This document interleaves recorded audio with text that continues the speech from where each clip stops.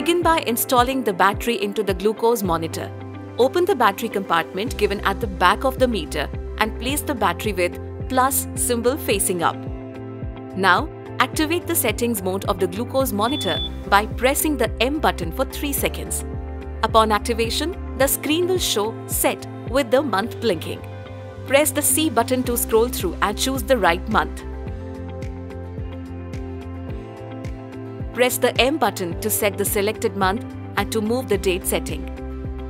Repeat the same steps to set the date, time and year. Press the M button for 3 seconds again to turn off the monitor.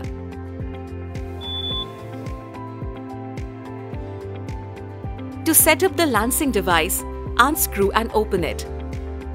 Then insert a fresh lancet firmly into it. Twist and remove the cap of the lancet to expose the needle. Keep the cap aside. Do not throw it. Close the lancing device.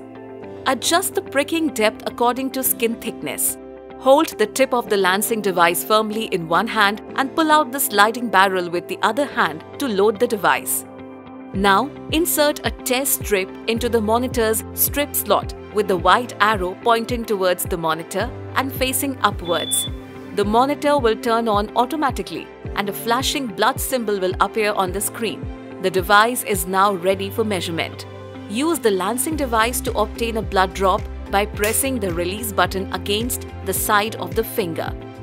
Touch the sample channel on the test strip to the blood drop the blood will be drawn into the strip automatically.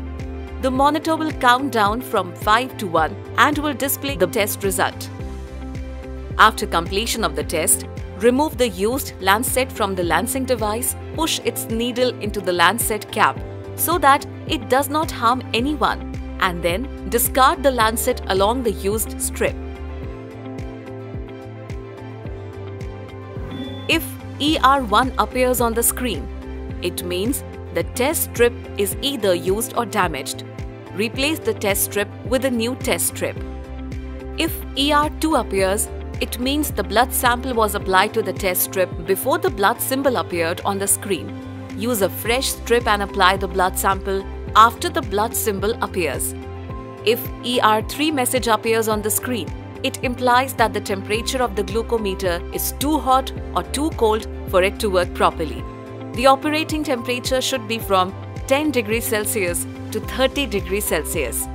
Let the temperature of the monitor stabilize for 20 minutes and then use it.